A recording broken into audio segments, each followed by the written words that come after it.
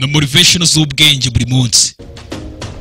Tekereza uyu munsi ngiye kongera kukubwira ibintu by'ubwenge byongera iminsi yo kubaho. Ndetse nanone n'iza motivational speech na motivation quotes byose bigendana muri kumwe nanjye real future kuri subscribe ku mbuga zacu yaba iyacu youtube channel yacu instagram yacu urakora follow ndetse ugere no kuri tiktok yacu ukore follow. Twagiye. Iyo akenshi mu buzima mubashe gukorana ndetse kurusha uko mwarwanyanya buri muntu wese agashaka kugera ku ruhande rw'iteka ahora ashaka kugira ngo agere ku kintu cye ariko iyo wemeye gukorana n'umuntu ugakorera hamwe iteka ibintu bigenda neza. Ibaze nawe umunsi mu buzima twemeye gukorera hamwe ibintu byose tukabikorera hamwe bizagenda neza. Ariko umunsi umuntu azajya ahitamo kugira ngo akore ibintu ku giti cye ashaka kugira ngo ndetse asa nk'aho ari kurwanya n'undi muntu ntabwo bikunda. Ariko nukorera hamwe ugakorera hamwe n'abandi. Ibintu ushaka gukora bizakunda. Mbere na mbere ubuzima bwawe banza ubusuzume.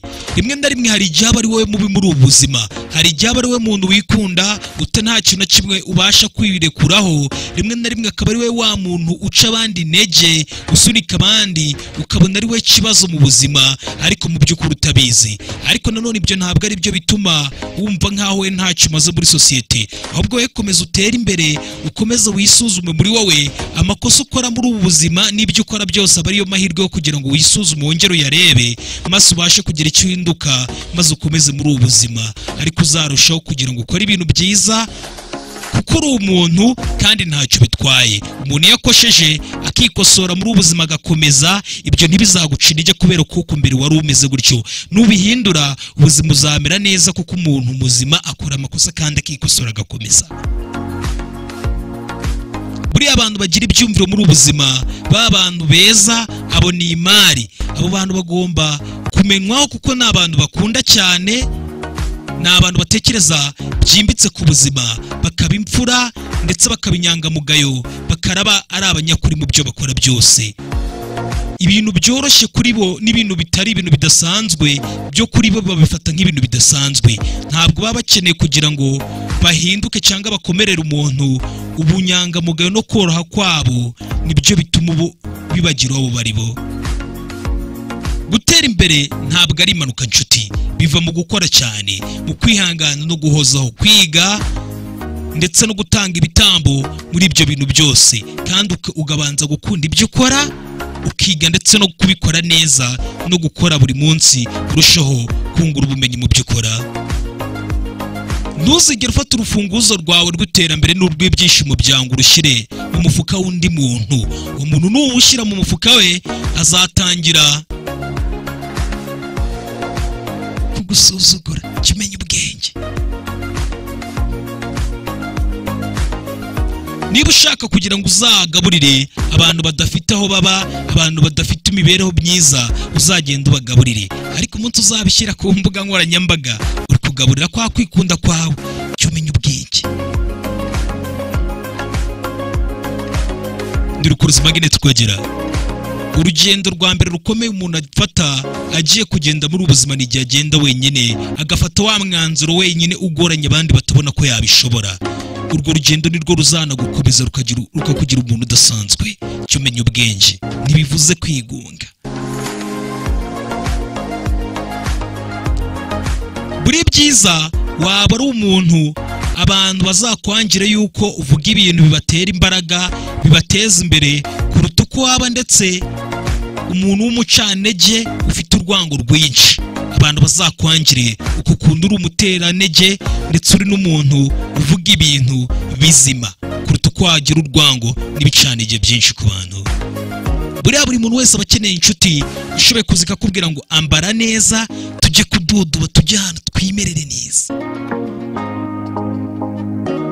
Abantu batuje burya nabo hari igihe bakunda kuvuga kandi bagakunda kugira amagambo menshi iyo bari kumwe n'abantu babo babandi babamenyereye bamenyeranye nabo. Nabo iyo bari kumwe nabo nabo burya baba bavuga cyane. Uzarekere gutekereza cyane. Kuko umunsi uzakomeza gutekereza cyane ntabwo uzabasha gukontora buri kimwe cyose. Menya ko ibiba muri iyi si kubitekerezaho cyane ntabwo ariko kubikontora kuko iyi si ibamo ibintu byinshi utabasha gukontorora. Ahubwo ibyiza wabireka bikaba wowe ugafata umwanzuro wawe n'uburyo tutwara ubuzima bwawe. Nukomeza gutekereza cyane uzatuma umubiri wawe amaraso yirukanka guteza ibindi bibazo n'indwara nyinshi mu mubiri wawe. Jya umenya ubwenge. Umunsi uzaguma uzagumisha abantu bataguha agaciro mu buzima bwawe ndetse bivuze ngo nta cyumba uri gushakira ba bantu baguha agaciro mu buzima bwawe. Uri kubirukana. Mu gihe uri kugumisha ba bantu bataguha agaciro mu buzima bwawe. Abo bavanemo kugira ngo abaguha agaciro bazaze. Jya umenya ubwenge. Ujye wibuka muri ubu buzima ubumenyi ntabwo ari ubuntu. Icyiza rero ufite kwitonda mu byo ubona byose. Nubona umuntu agiye kuguha ubumenyi ntuzajye utekereza ko ubumenyi ari ubuntu. Niba hari umuntu wakweretse ibara rye rya nyaryo ko ari umuntu udakwiye kuba mu buzima bwawe nawe ntuzongere gutinyuka kongera gukoresha iryo bara mu buzima bwawe.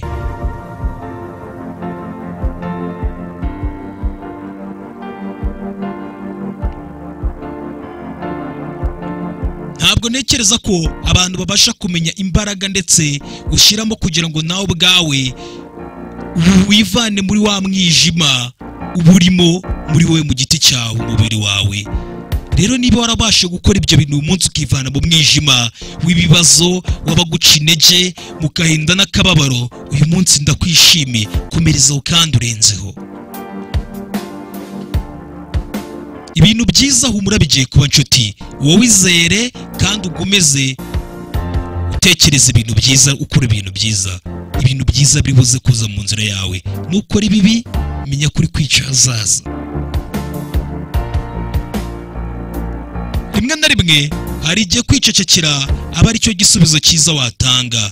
Ndetse iyo urebye ukabona ndetse rimwe na rimwe iyo ucecetse ntugire ikintu uvuga. Ni ahantu abantu bazahera bakuvuga. Bavuga ngo wavuze utya bavuga ngo wakoze utya. Nuceceka ntibazabona ibyo bakuvugaho. Ntibazabona aho bahera ndetse baguca za zawe. Uzakore wicecekere jya umenya ubwenge. Ibintu byose bisaba ko hari ikintu bivugaho.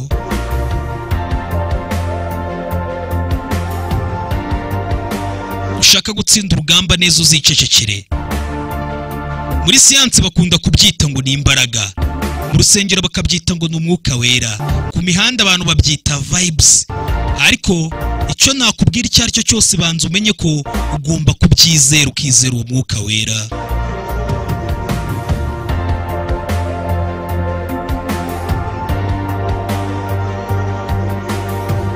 Ntabwo ntabwo burakererwa kugira ngo ibintu byiza bizaze mu buzima bwawe. Mu gihe ugihumeka ibintu byiza biri imbere biragutegereje. Uko byamera kose bizaza. Buriya nta n'umwe mu bantu twese turi ku isi uri hejuru y'undi ku buryo ukwiriye gusuzugura umuntu uwo ari we wese. Cyo rero uca bugufi. Niba ushaka kugira ngo uzatere imbere banza witegure ko abantu bazagushidikanyaho bakabasha kubanza kugusuzuma ubuzima iteka buzahora bwuzuyemo bya bintu bishaka kuguca intege kugira ngo birebe koko niba ukomeye. Uko niko abantu dukura ni nako tubasha gutera imbere. Umunsi rero uzifuza gutera imbere udaciye muri ibyo bintu byose ntibizakunda. Ariko niba witeguye kugira ngo uzatere imbere menya ko ugomba kuzaca muri ibyo bintu byose nkubwiye ruguru. Jya umenya ubwenge.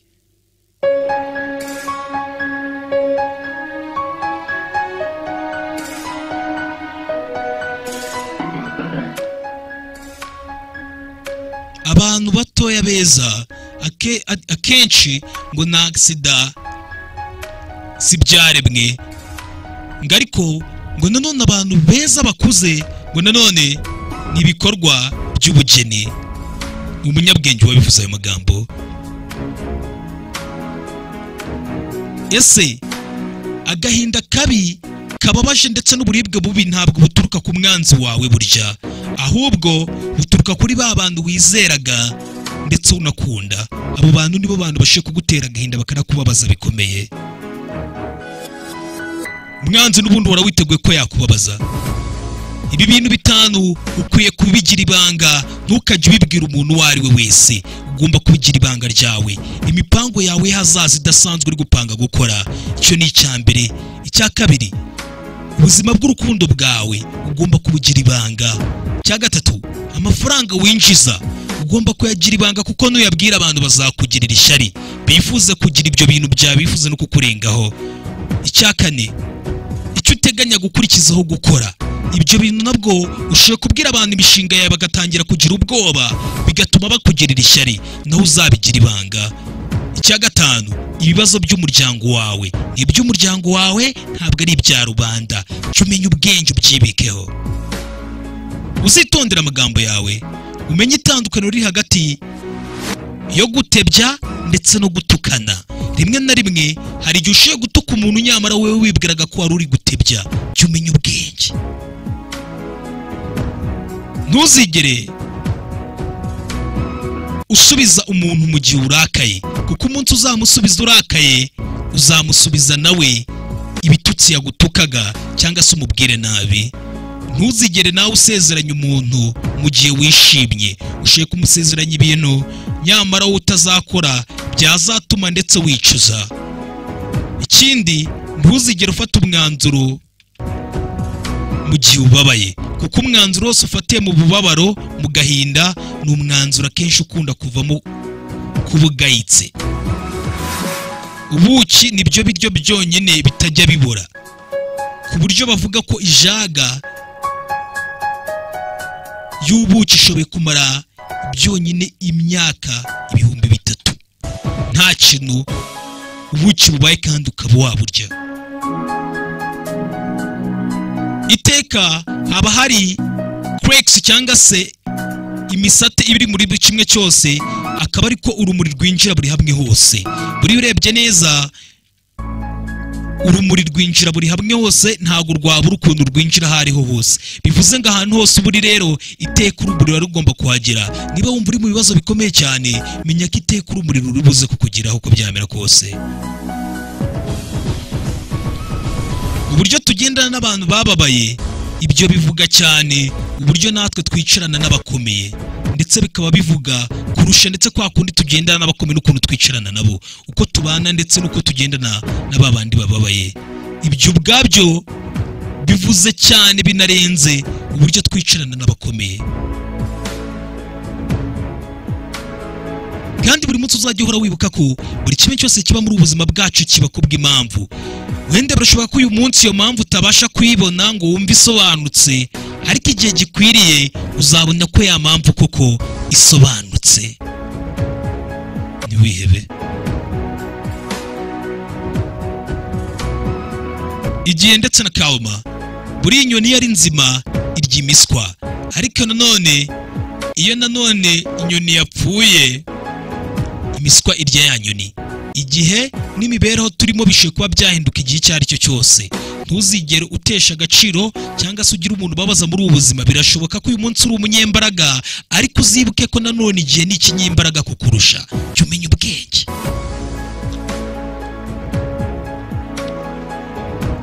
Kandi uzajye buri munsi uba uri kumwe n'umuntu ushoboye kuba yakubabaza mu kanya gato ariko nanone akaba yakongera nyuma yo kukurakaza cyangwa yakubabaje kongera akakunezeza mu kanya gakurikiraho. Uwo muntu ari we uzajya wifuza kubana nawe. Kuruta uko uzabana n'umuntu ahubwo uzakunezeza mu kanya gato nyuma ari kugupangira kukubabaza iteka ryose. Ntuzigere wumva utuye muhahise gusa. Wibanda mu byabaye muhahise dore ko ari naryo kosa abantu benshi bakora muri iyi minsi. Ahubwo wowe nanone ntuzibande ku hazaza cyane. Ahubwo we banza wite uyu munsi uyu mwanya uri kubaho iki gihe cyose uri kubaho. Kuko iki gihe uri kubaho ni cyo kizagena ahazaza hawe. Ariko nuramuka nanone utuye muhahise akaba ariho uri utekereza buri munsi cyane hazica ahazaza hawe.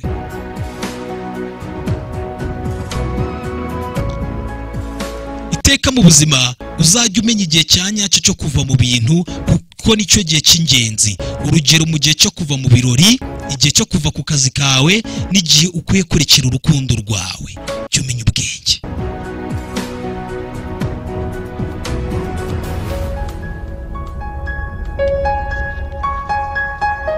Umuryango ntabwo uba ukeneye kuba igitangaza ngo ube uri umuryango w'igitangaza. Oya uba ukennye ariko aba ari umuryango wawe. Icyangombwa ni uko ugomba kuba ari umuryango wunze ubumwe bose bakorera hamwe. Uwo muryango si ngombwa ngo mube munahuje n'amaraso. Guhangayika biba bimeze nko kwicara kuri rocking chair. Ni intebe ikora muvoma akenshi ibiguhereza ikintu cyo gukora ariko muri make ntaho ikugeza. Ibigutwara ariko ntaho ikutwara. Ndikeka mwese muri kwirebera aho ngaho. Neurologist. Bamaze kuvuga ko buri mwanya usa nkaho uri kuresisita kugira ngo utarakara icyo gihe ngo ni cyo nawe ubwawe uba uri gusa nkaho ukomeza ubwonko bwawe kugira ngo butuze ndetse urusheho no gukunda. Iyo uri kuresisita kugira ngo utarakara ni bwo uba wimenamo urukundo rwinshi urushaho no gutuza kurushaho. Ubwenge n'ubwonko bwawe burushaho gufata uwo mwanya iyo umaze kwishyiramo ko udakwiye kujya urakara buri munota bukagushyiramo urukundo rwinshi. Teka uzahitemo kutajya uterana n'amagambo abantu ahubwo uzajya uhitamo kwigendera ubahunge wihitiremo amahoro. Ibyo ni byo bizaguha gutuza. Nanjye nta gihe cyo mba mfite cyo guhangana n'abantu nihitiramo kwigendera kuko mba nifuriza amahoro. Nawe ujya umenya ubwenge. Ntuzigere wicuza ku munsi uwo ari wo wose waje mu buzima bwawe. Iminsi myiza izaguha ibyishimo. Iminsi mibi izaguha isomo ry'ubuzima. Ariko iminsi mibi kurushaho yo izaguhereza isomo ariko iguhereze n'ubumenyi nk'uko iminsi idasanzwe mu buzima na yo iguhereza urwibutso memories.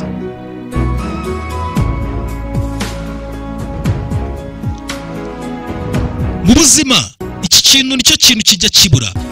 Mu buzima ntuzigere wishingikiriza umuntu uwo ari we wese kubera ko muri iyi si buri muntu wese yahinduka dore kabone n'igicucucucu cyawe dore iyo ugeze mu mwijima kiraguta kikagusiga. Ntuzigere wishingikiriza umuntu. Mu buzima uzamere nk'inanasi uhagarare wemye wambare ikamba ariko uryoheremo indani muri wowe. Abantu bashoboye kuzakubona bakagucira urubanza ariko batazi ubwiza bukurimo. Uzamere nk'inanasi.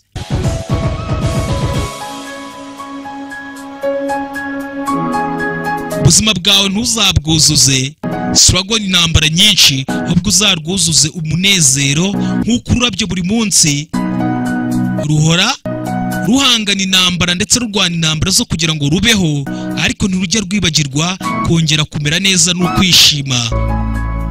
Kugira ibyishimo kwarwo n'ukwakwera kwarwo.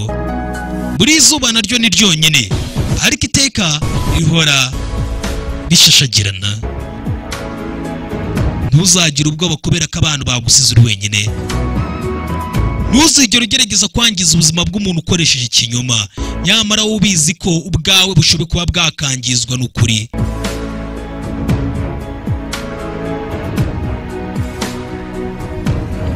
Face the reality. Ubuzima iteka buzahora bukugerageza bugerageza ari imbaraga zawe buri munsi. Uzajye wibutsa ko rero buri kintu cyose gihora gikomera mu buzima. Ariko wibuke ko uko kizajya buri munsi gikomera wowe ugomba kujya ukomera kurushaho kukirusha.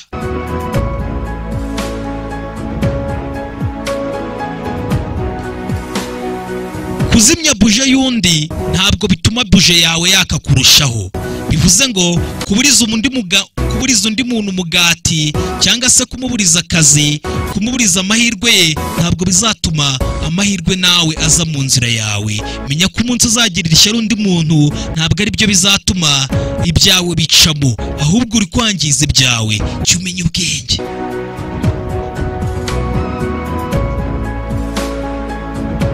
Uri umuyobozi nyawe mu gihe ufashe ikipe yawe mu gutera imbere abo muri kumwe. Uzibuke ko ubuyobozi ntabwo ari wowe wowe uri kuyobora ahubwo ni ubw'abantu ukorera. Ntukajye wishyira hejuru kubera ko uri kubona ko abantu uyoboye batuje bari aho ngaho ariko iteka umunsi nabo bashoboye kuba bashyiraho n'undi muyobozi bigakunda. Umuyobozi ntabwo ukorera ntabwo ari wowe. Buriya wemerewe kuryama ukerewe ukarya byinshi ukarira nta mpamvu ugakunda uwo ushaka ugashakisha inshuti nshyashya ugakomeza ubuzima bwawe. Cyo rero ikunde ube wowe.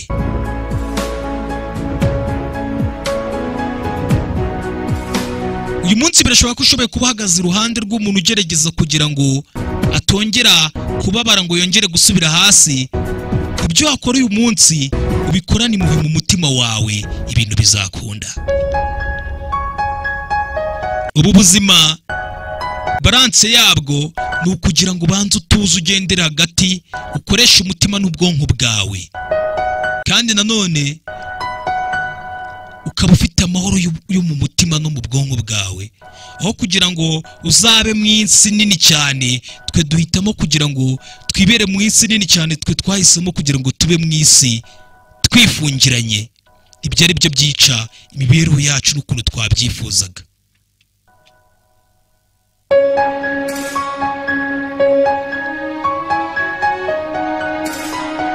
Mu buzima uzaca bugufi yeguza uzagira inzara ariko buri munsi uzajya ukora cyane uzaba ari wowe uzajya uba ukomeye. Mu cyumba cyose uzajya ugerayo aho uzajya ugera uzajya utekereza ko ari wowe wa mbere ndetse unaba uwa mbere mu gukora ibyo bintu abantu benshi badatekereza. Uzajya buri munsi ufite inzara yo gutera imbere. Ubuzima ntabwo ari umurongo urambuye ni umurongo w'inzitane kandi urimo n'imisozi myinshi. Uzirinde ibyo byose kuko hari benshi bazaza mu buzima bwawe bigize uko batari ahubwo bashaka ukwishushanyaho nyamara hakazaza n'abandi mu buzima bazaza boroheje nyamara ari abantu badasanzwe. Ntuzigere umuntu umucira urubanza. Jya umenya ubwenge. Kuri subscribe ni William Future. Thanks for watching. William Future like and comment. Subscribe. Subscribe. Hit on subscribe button. William Future on Instagram. Ndabakunda cyane cyane. Nababwiye ko ari buri munsi buri munsi mugiye kujya mubona ibintu byiza. Ntuzigere uva ku bintu ku bintu wifuza mu buzima bwawe. Biragorana gutegereza ariko nanone bikagorana kugira ngo uzicuze. Aho kugira ngo uzave ku bintu uzagera igihe cyo kwicuza jya umenya ubwenge ahubwo ukomerezaho. Isomo ry'igihe. Mu gihe iyo inyoni ari nzima irya imiswa. Ariko nanone iyo inyoni yapfuye ya miswa yongera ikarya ya nyoni. Ibihe birahinduka nshuti. Rero ntuzigere utesha agaciro cyangwa ngo ugire umuntu ubabaza muri ubu buzima. Birashoboka ko uyu munsi waba uri umunyembaraga ariko wibuke ko nanone hari igihe kizaza bigahinduka kandi igihe ni ikinyembaraga kukuruta. Ujye umenya ubwenge.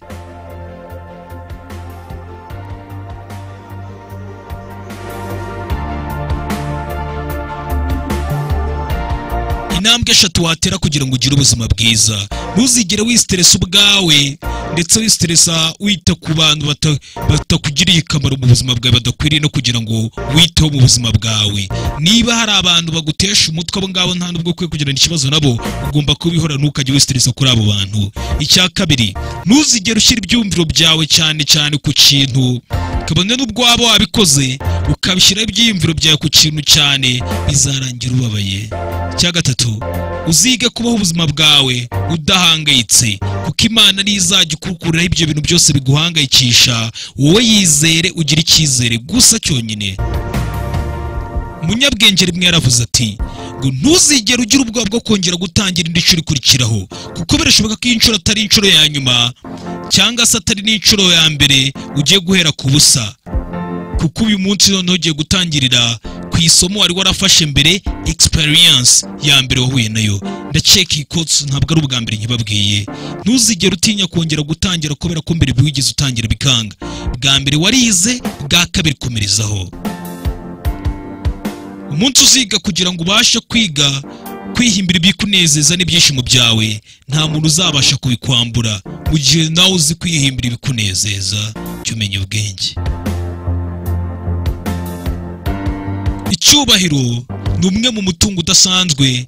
Umuntu akwiye kugira. Biba bimeze nk'igishoro iyo ugihereje abandi nawe kikuzanira inyungu.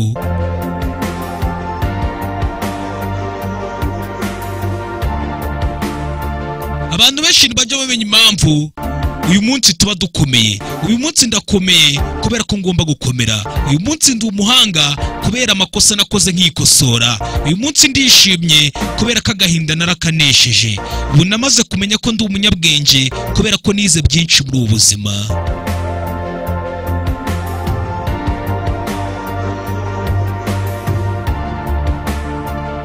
Jya umenya ubwenge.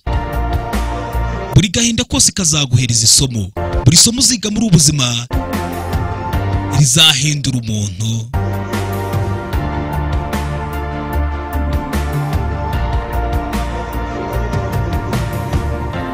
Uzajya ushishikariza abandi bantu kuko isi niramuka ushishikariza abandi bantu batera imbaraga ubashishikarize gukora ibintu kandi batera imbaraga mu buryo bwiza. Kuko isi irimo abantu benshi bazi kunenga abantu no kunenga ibintu. B'abacanege uzaba umuntu utera abandi imbaraga buri munsi. Ntuzigere uca umuntu intege. Igihe ibintu bibi bizaba ufite amahitamo atatu. Kubireka kuba byakuba ari byo bikuranga cyangwa se ukaba wabireka bikakwangiza cyangwa se ukaba wareka bikagukomeza mu gihe ibintu bibi bikubayeho. Mu gihe uzaba wizeye umuntu neza udashidikanya uzabona ibi bintu bibiri. Icya mbere ni uko ashoboye kuzakubera umuntu uzahora mu buzima bwawe utazibagirwa ndetse umuntu w'igiciro. Icya kabiri ni uko uwo muntu yakubera isomo ry'ubuzima bwawe mu buzima bwawe bwose.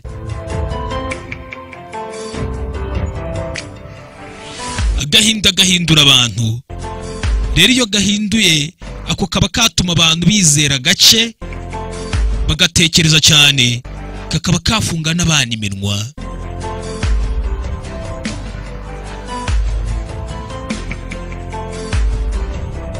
Ntuzigere ucira umuntu urubanza.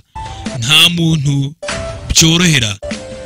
Buri muntu wese agira ibibazo burya. Ntiwamenya ibyo umuntu ari gucamo bitewe n'ukuntu uri kumureba. Birashoboka ko waba uri gutangira gucira umuntu urubanza unenga uvuga amagambo menshi ariko burya buri muntu wese afite urugamba rwe. Ahangana narwo ntuzabyibagirwe igihe ubuzima buzaba bukomeye igihe ibintu byose bizaba bihindutse bibi uzajya wibuka ko burya n'akanyamasyo kaba gakwiye kurangiza irushanwa ryako kuko katajya kava ku izima birangira gatsinze.